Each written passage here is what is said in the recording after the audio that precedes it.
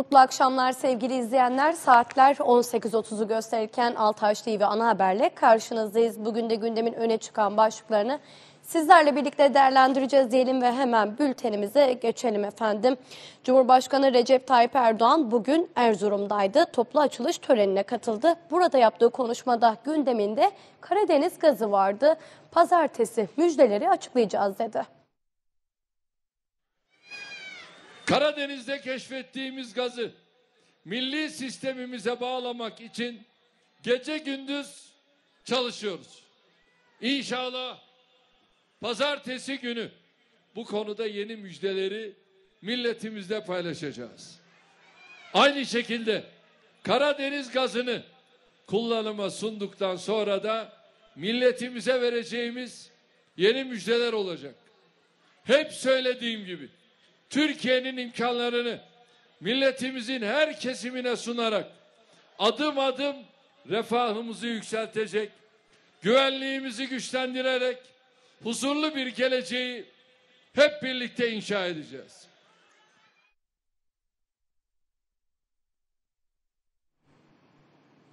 Program kapsamında orduya gelen AK Parti İstanbul Milletvekili Hulusi Şentürk, Cumhurbaşkanı Recep Tayyip Erdoğan'ın açıklamış olduğu asgari ücreti değerlendirdi. Cumhuriyet tarihimizin rekorunu kırdık dedi.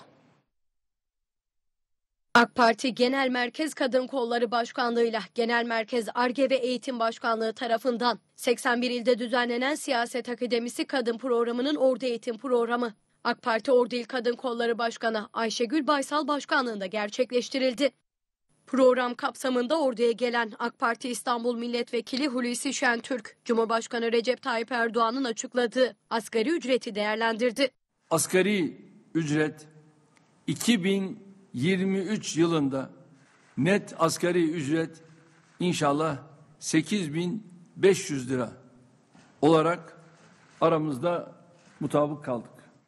Öncelikle e, Sayın Cumhurbaşkanımıza asgari ücreti bu kadar yüksek belirlediği için teşekkürler. Konuşmama başlamak istiyorum. Çünkü bakmayın son 3-4 gün kala hemen birileri asgari ücretin 8 bin aşacağını görünce 9 bin lira rakamlar telaffuz edip ön almaya çalıştı ama 2-3 hafta önceye gidersek 7 bin lira rakamları telaffuz eden insanlardı bunlar. Ee, Şu an açıklanan bu 8506 lira rakam geçen senenin yıl sonu itibariyle bu yıl sonu itibariyle baktığımızda tam yüzde yüz. Yani enflasyon oranının ciddi anlamda üzerinde. Açıklanan fiyatın enflasyonun çok üzerinde olduğunu kaydeden Vekil Şentürk, AK Parti'nin öncelikli hedefi dar gelirlinin alım gücünü düşürmemek dedi. Geçen sene de benzeri bir uygulama yapmıştık zaten. Önce yılbaşında ciddi bir artış yapmış, arkasından da Temmuz'da bir ara zam yapmıştık. Dolayısıyla AK Parti'nin zaten öncelikli e, hedeflerinden bir tanesi dar gelirlerimizin satın alma gücünü düşürmemek. Tam tersi yükseltebilmek ve isterlerse dolar bazında hesaplasınlar. Şu anki askeri rakam dolar bazında bile Cumhuriyet tarihimizin rekoru bir rakam. Dolayısıyla bu rakam elbette daha fazla olması hepsini ister. Herkesin gönlü ister ama Türkiye'nin şartları göz önüne alındığında olabilecek en iyi rakamdı. Hatta kamuoyu ve işçi kesim bunun biraz daha altına bile razıydı ama buna rağmen 8506 gibi yüksek bir rakam ortaya kondu. Hayırlı olsun diyoruz. Yani. AK Parti Ordu İl Kadın Kolları Başkanı Ayşegül Baysal Başkanlığında gerçekleştirilen seminere Ankara Milletvekili Zeynep Yıldız da katıldı.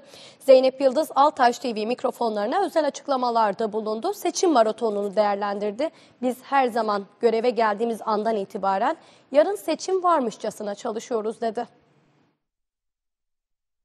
AK Parti Genel Merkez Kadın Kolları Başkanlığı'yla Genel Merkez Arge ve Eğitim Başkanlığı tarafından 81 ilde düzenlenen Siyaset Akademisi Kadın Programı'nın Ordu Eğitim Programı AK Parti Ordu İl Kadın Kolları Başkanı Ayşegül Baysal Başkanlığında gerçekleştirildi. Programa il ve ilçelerinde kadın teşkilatları ve siyasetle ilgilenmek isteyen kadın üyeler katılım sağladı. Seçildiğimiz gün 2018'de hemen ertesi gün normal adaylık sürecindeki çalışmalarımıza devam ettik. Ve her zaman bizim düsturumuz şudur teşkilatta yarın seçim olacakmış gibi çalışırız bizler her zaman için. Kadın, aile, çocuk politikaları konulu semineri vermek üzere orduya gelen AK Parti Ankara Milletvekili Zeynep Yıldız seçim maratonunu değerlendirdi. Bizler zaten aslında en temelde en iyi bildiğimiz şey yapıyoruz. Yani gerçek siyaset. Ben siyasetin gerçek kalabilmesini çok önemsiyorum kendi adıma. Ee, o yüzden e, gerçek siyasette sahadadır. E, ve biz her zaman yaptığımız gibi teşkilatlarımızla birlikte saha çalışmalarımızı ağırlık vererek sürdürüyoruz. Göreve geldikleri günden itibaren yarın seçim varmışçasına çalıştıklarını belirten Yıldız. Bu süreçte sahada vatandaşla temas halinde olduklarını kaydetti. Gerçekten birebir iletişim kurmanın çarpan etkisinin çok daha fazla olduğunu düşünüyorum kendi adıma. Yani gerçekten o hani samimi bir şekilde iletişim kurmanın e, geri dönüşlerinin daha sahici, daha kalıcı olduğunu düşünüyorum. O yüzden e, her zamanki sağ çalışmalarımızı arttırarak, tempoyu birazcık daha arttırarak devam ediyoruz bu süreçte. AK Parti Ordu Milletvekili Metin Gündoğdu 2023 şehir buluşmaları kapsamında bu, bu sefer Gümüşhane'deydi. Torul ve Kültür ilçelerinde halkla bir araya geldi, talepleri dinledi. AK Parti Ordu Milletvekili Metin Gündoğdu, partisinin şehir buluşmaları programı kapsamında Gümüşhane'deydi. Gündoğdu'nun ilk durağı Torul ilçesi oldu. Partililer ve halkla bir araya geldi. Cumhurbaşkanımız devleti yönetiyor. Biz de onunla beraber millete hizmet etmek için gayret gösteriyoruz. Siz de bu gayretimizde millete hizmet yönünde sizin de büyük emeğiniz var. Ben öncelikle Torul'da bugüne kadar görev almış bütün ilçe başkanlarıma, ilçe yöneticilerimize, gençlik kollarımız, kadın kollarımıza, kademelerimizin tamamında mahalle başkanlarımıza, görev alanların tamamına teşekkür ediyorum. Allah hepsinden razı olsun. Gündoğdu daha sonra Kürtün ilçesine hareket etti. Burada da gerçekleştirilen istişare toplantısına katıldı. Tabii bu buluşmalar her açıdan çok önemli. Bu buluşmaların seçimle alakası yok. Seçim dönemine var. Seçimlerde inşallah o zaman adaylarımız gelir onlarla oturursunuz, konuşursunuz, hasbihal edersiniz. Ama bizimki şu anda genel merkezimizin başlatmış olduğu şehir buluşmaları kapsamında gittiğimiz ilçelerde o ilçenin problemini, derdini birlikte hasbihal ediyoruz. Genel merkezimize de bilgi veriyoruz. Gündoğdu esnaf ziyaretleriyle Gümüşhane programını tamamladı. Bugün Altınordu ilçesi Rıhtım mevkinde zincirleme kaza yaşandı. Kazada 3 araç adeta birbirine girdi. Bu kazada 5 de yaralı var.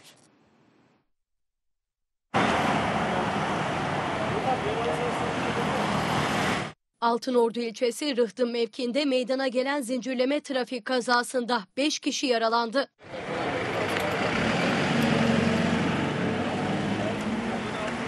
Edinilen bilgilere göre öğle saatlerinde Ordu'dan Perşembe istikametine gitmekte olan 3 araç zincirleme trafik kazasına karıştı. Çevredekilerin ihbarı üzerine olay yerine polis ve sağlık ekipleri geldi. Kazada yaralanan 5 kişiye ilk müdahaleleri sağlık ekipleri tarafından olay yerinde yapıldı. Siz kaç tane var başka abi? Kaza nedeniyle trafik bir süre kontrollü sağlandı. Kaza ile ilgili soruşturma başlatıldı. Ordu İl Sağlık Müdürü Operatör Doktor Dursun Tüzün Ordu ile ilgili sağlık alanında bir müjde verdi efendim. O müjdede e, 13'ü uzman hekim, 12'si pratisyen hekim olmak üzere toplamda 25 hekimin atamasının yapılacağıydı. Tabii 7 farklı ilçe farklı branşlarda atama yapılacak. İlçeleri de hemen sizlere aktaralım. Aybastı, Gölköy, Ulubey, Korgan, Fasla, Ünye ve Ordu merkezde atamalar yapılacak ve dediğimiz gibi farklı branşlarda olacak bu atamalar diyelim ve bir sonraki haberimize geçelim efendim. Biliyorsunuz Ticaret Bakanlığı bir karar almıştı ve haftanın bir günü berber, kuaför ve güzellik salonlarının kapalı olacağı söylenmişti ve her valilikçe belirlenecek gün içerisinde bu kapanmalar gerçekleştirilecekti. Bu uygulama 1 Ocak itibariyle başlayacak. Ticaret Bakanlığı 1 Ocak'tan itibaren tüm berber, kuaför ve güzellik salonlarının haftanın bir günü kapalı olması yönünde karar almıştı.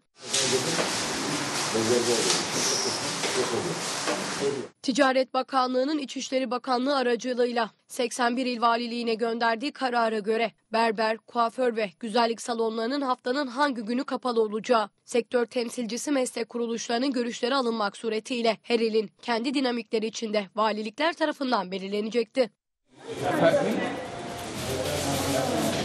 Ordu'da berber, kuaför ve güzellik salonlarının kapalı olacağı gün belli oldu. Buna göre 1 Ocak 2023 tarihinden itibaren geçerli olmak üzere berber, kuaför ve güzellik salonlarının pazar günleri kapalı olmasına karar verildi. Hafta sonu kapalı kalacak olan iş yerlerinin denetimini ise belediye zabıtaları yapacak. Pazar günü damat ve gelini olan esnaflarınsa mesai saatleri içinde davetiye ile birlikte izin almak için Ordu Berberler ve Kuaförler Odası'na gidip izin belgesi alması gerekecek. Telefonla alınan izinler kabul edilmeyecek.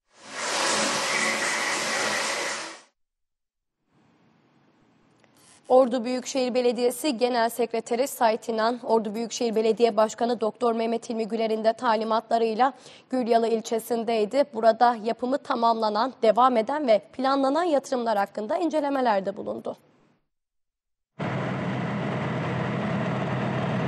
Ordu Büyükşehir Belediye Başkanı Doktor Mehmet İlmi Güler'in talimatlarıyla kentte yapılan çalışmaları takip etmek üzere Büyükşehir Belediyesi Genel Sekreteri Sait İnan, daire başkanları ve birim amirleriyle Gülyalı ilçesinde incelemelerde bulundu. Ordu Büyükşehir Belediyesi'nin altyapıdan üst yapıya şehrin dört bir yanında devam ettirdiği çalışmalar Büyükşehir Belediye Başkanı Doktor Mehmet İlmi Güler'in talimatlarıyla yerinde takip ediliyor. Bu kapsamda Büyükşehir Belediyesi Genel Sekreteri Sait İnan'ın öncülüğünde Gülyalı ilçesine giden Büyükşehir Belediyesi ekipleri ilçe yatırımlarını inceleyerek vatandaşlar ve muhtarlarla bir araya geldi. Büyükşehir Belediyesi Genel Sekreteri Sait İnan inceleme sonrası açıklamalarda bulundu. Ama Gülyalı ilçesinde toplamda e, 10 milyon lirası OSKİ Genel Müdürlüğü'ne ait, 47 milyon lirası da Ordu Büyükşehir Belediye'mize ait. Toplamda bugünkü değerle 57 milyon liralık yatırım yaptık bu dönem içerisinde.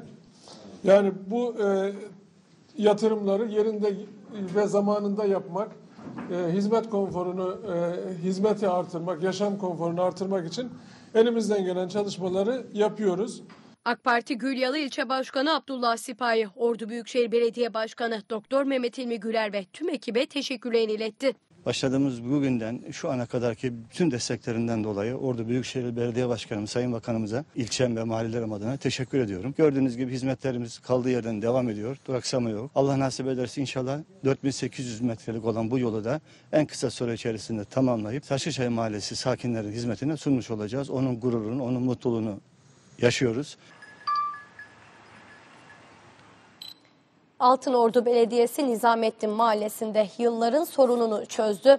Kulaçlar ve ateşler küme evlerini birbirine bağlayan yol sıcak asfaltla buluştu.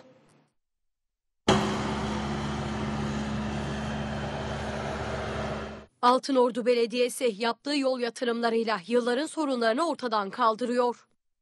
Son olarak Nizamettin Mahallesi küme evleri olarak bilinen Kulaçlar ve Ateşler küme evlerini birbirine bağlayan 2 kilometrelik yol Altınordu Belediyesi tarafından sıcak asfaltla buluşturuldu.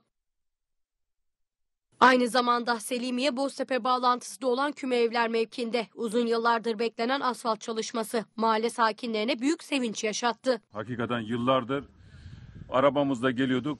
Arabamızda büyük hasarlar oluşuyordu. Gerçekten çukurlar vardı.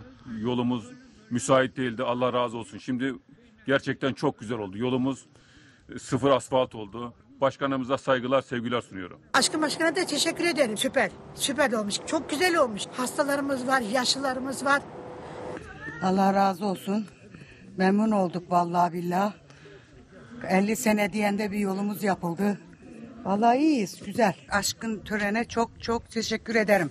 Ya çok memnunuz. Gerçekten e, çarşıya giderken bir ayaklarımız yolda çamur olmuyor. Ben memnunum. Güzel oldu. Teşekkür ederiz aşkın törene. Yani yapılan işlerden memnunuz. Güzel oldu. Teşekkür ederiz yaptıkları her şey için. Selimiye Mahallesi Kulaşlar Küme Evlerine giden yolumuz asfaltlandı ve Kulaşlar Küme Evlerinden Ateşler Küme Evlerine devam eden yolumuz da asfaltlandı. Selimiye'den şehir içinden Boztepe'ye çıkacak araçlar artık buradan Boztepe yoluna e, rahatlıkla çıkabiliyor. Başkanımıza çok teşekkür ederiz bu hizmetlerinden dolayı. Bu yolumuz e, uygun olmadığından dolmuşlar yarıdan geri dönüyordu. Onun için dolmuşlarımızı da tekrar e, bekliyoruz mahallemize hizmet vermesi için. Eskiden burası çok kötüydü. Yollar falan çok şeydi. Allah razı olsun yollarımız çok güzel oldu. Teşekkür ederiz. Allah razı olsun. Aybastı İmam Hatip Ortaokulu'nda iş insanı Paşa Tokman'da destekleriyle modernizasyon çalışması gerçekleştirildi.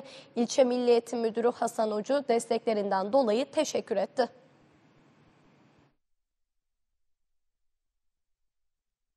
Aybastı İmam Hatip Ortaokulu'nda yenileme ve modernizasyon çalışmaları tamamlandı. Aybastılı iş insanı Paşa Tokman destekleriyle gerçekleştirilen çalışmaların ardından Aybastı modern bir eğitim yuvasına kavuştu. Modernizasyonu tamamlanan okulda eğitim öğretimde başladı. Aybastı İlçe Milli Eğitim Müdürü Hasan Ocu desteklerinden dolayı Paşa Tokmak'a teşekkür etti. Acu, ihtiyaç olduğu her anda, kim var dediğimiz her anda, taşın altına elini değil gövdesini koyan Sayın Paşa Tokmak'a, öğrencilerimiz ve eğitim camiamız adına tekrar teşekkür ediyorum. Rabbim hayrını kabul, rızkını bereketli eylesin kelimelerini kullandı. Vatan Partisi Ordu İl Başkanı Osman Erdaş esnafla birlikte, sanayi esnafıyla birlikte kahvaltı programında bir araya geldi.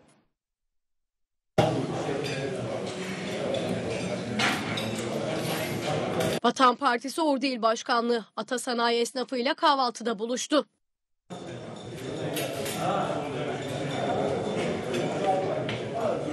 Ata Sanayi'de düzenlenen kahvaltıda esnafla bir araya gelen Vatan Partisi Ordu İl Başkanı Osman Erdaş zorlukları paylaşarak üstesinden geleceklerini söyledi.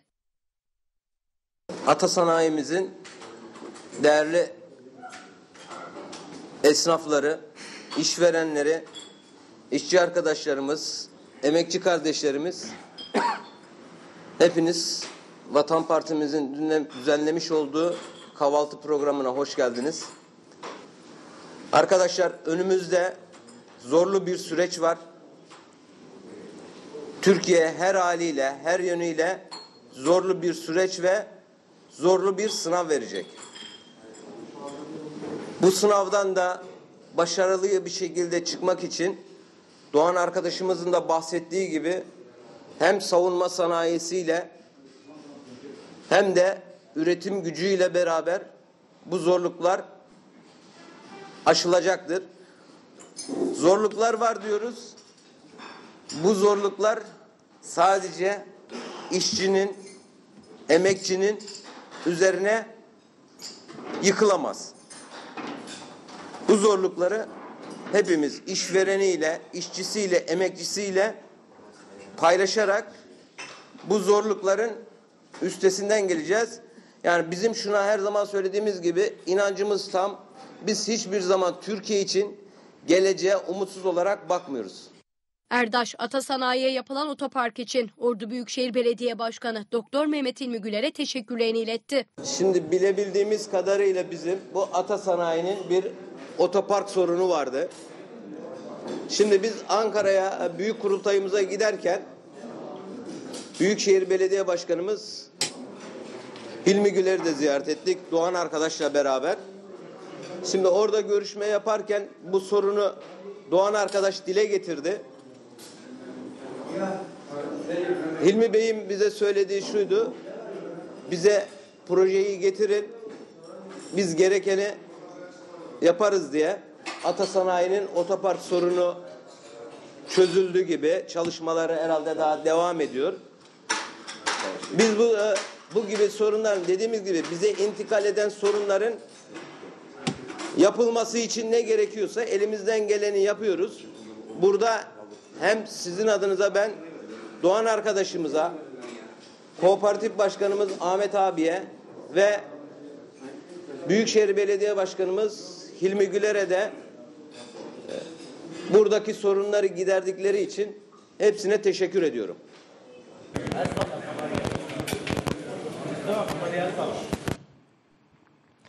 Diyanet İşleri Başkanı Profesör Doktor Ali Erbaş Yozgat Bozok Üniversitesi'nde verdiği konferansta öğrencilerle bir araya geldi.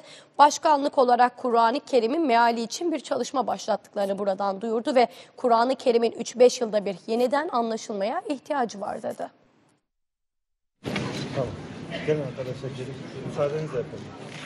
Diyanet İşleri Başkanı Profesör Doktor Ali Erbaş Yozgat'ta Bozok Üniversitesi'nde öğrencilerle buluştu. İslam'ın rehberliğinde bilgiden bilince konulu konferans verdi. Diyanet İşleri Başkanlığı olarak Kur'an-ı Kerim meali konusunda çalışma başlattıklarını belirten Erbaş, Kur'an-ı Kerim'in 3-5 yılda bir yeniden anlaşılmaya ihtiyacı var dedi. Kur'an-ı Kerim'in her 3-5 yılda bir yeniden anlaşılmaya ihtiyacı var. Şimdi Maurice Buquet, Maurice Buquet bir Fransız, Fransız alimi.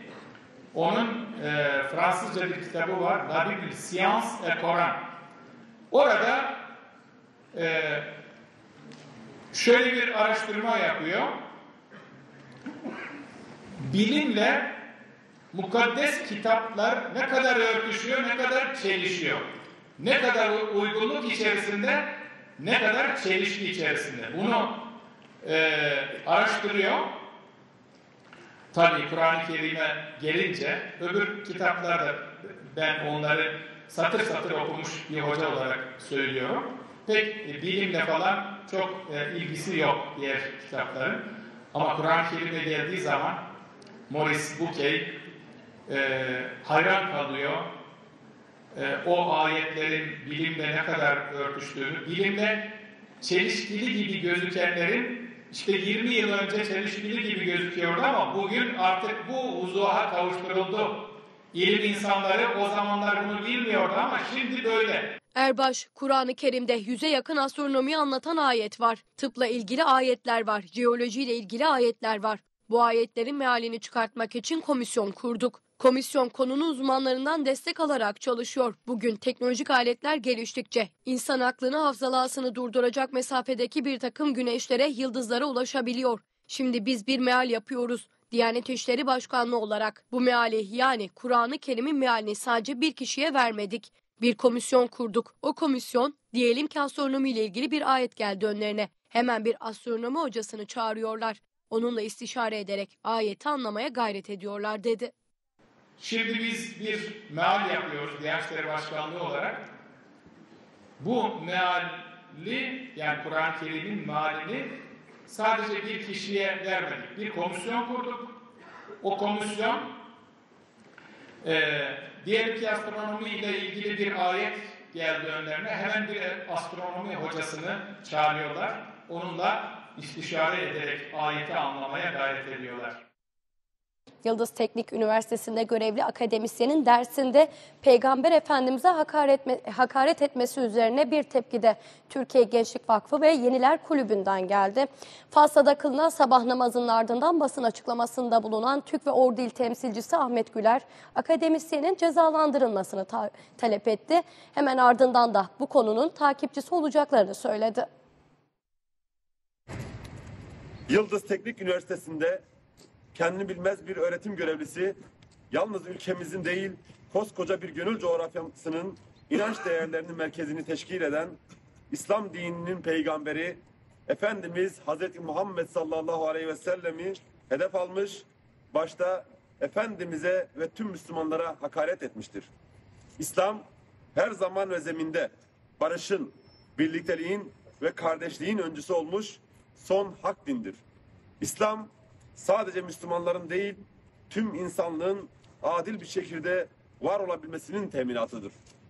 Dinimiz tüm insanlığı korurken kendini bilmez bu şahsın dinimize saldırmasını asla kabul edilemez. Bizler barışın, aklın ve insanca var olmanın önündeki en güzel örnek Peygamberimiz Hz. Muhammed sallallahu aleyhi ve sellem ile hakaret kelimesini dahi aynı cümlede kullanılmasından dahi imtina ederiz. Farklı görüşler ve inançlar zenginliğimizdir diyerek birbirimize olan saygı ve hürmet sınırlarını korumak için elimizden gelen gayreti gösteririz. Lakin özgürlük kisvesi altında dinimize dil uzatılması kabul ede edebileceğimiz bir olay değildir. Kutsal varlığımızı yok sayarak, dini değerlerimizi aşağılayan Yıldız Teknik Üniversitesi'nde halen görev yapan sözde öğretim görevlisi bu şahsın ne Yıldız Teknik Üniversitesi sınırları içerisinde ne de başka herhangi bir eğitim kurumunun yakında dahi yeri yoktur. Zira sözde öğretim görevlisi bu şahıs temel insan haklarını kavrayamamış, mensubu olsun yahut olmasın her dine ve bu dinin değerlerine saygı göstermesi gerektiğini öğrenememiştir. En temel insan hakları dahi kavrayamayan, en temel insan haklarını dahi kavrayamayan bu şahsın gençlerimize verebileceği hiçbir değer bulunmamaktadır.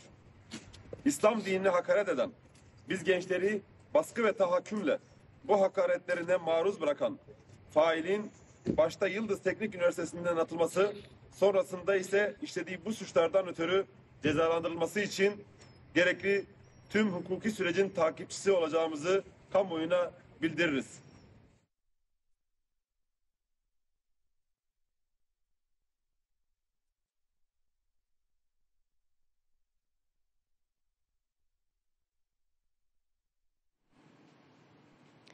Türkiye Yardımsevenler Derneği Ordu Şubesi kahvaltılı bir program düzenledi. Bu programda hayırsever kadınlar bir araya geldi.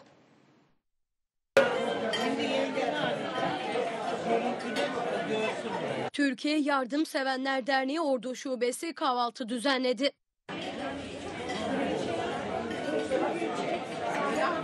Bir otelde gerçekleştirilen kahvaltıya Ordu Şube Başkanı Neriman Boğukoğlu, yönetim kurulu üyeleri, dernek üyeleri ve çok sayıda davetli katıldı.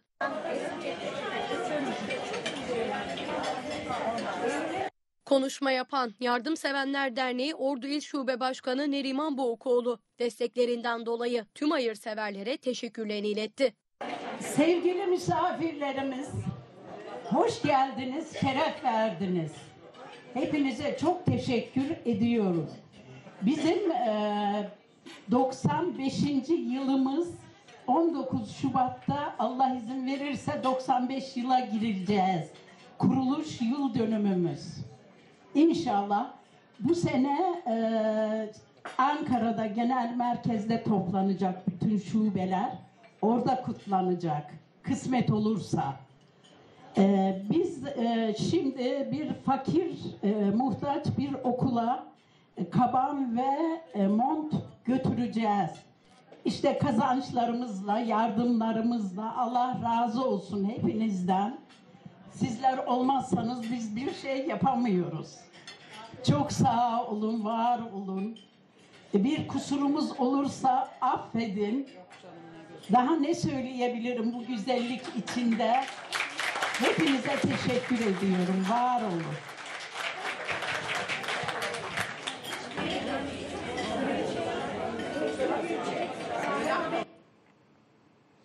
Bu son haberimizle birlikte bültenimizi noktalıyoruz. Yarın aynı saatte Ebru Poyraz sizlerle birlikte olacak. Mutlu akşamlar efendim.